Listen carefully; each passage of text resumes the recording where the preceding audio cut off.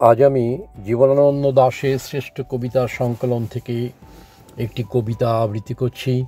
এর নাম হলো পথ হাঁটা।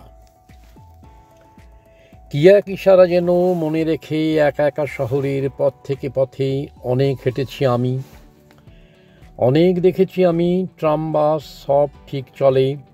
তারপর পথ ছেড়ে শান্ত হয়ে চলে যায় তাহাদের ঘুমের জগতে।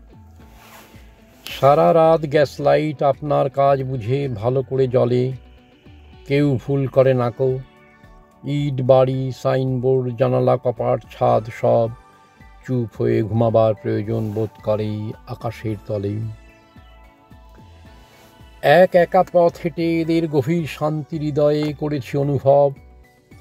তখন অনেক রাত, তখন অনেক তারা মনুমেন্ট মিনারের মাথা নির্জনে ঘিরেছে এসে মনে হয় কোনো দিনের চেয়ে সহজ সম্ভব।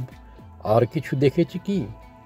একরাশ তারা আর মনুমেন্ট ভরা কলকাতা। চোখ নিচে নেমে যায় চুরুট নীরবে জলে। বাতাসে অনেক ধুলো খড়। চোখ বুজে এক পাশে সরে যায় গাছ থেকে অনেক বাদামি জীর্ণ পাতা উড়ে গেছে। ব্যাবিলনে এক একা এমনই হেঁটেছি আমি রাতের ভিতর কেন যেন। আজও আমি জানি না কো, হাজার হাজার ব্যস্ত বছরের পর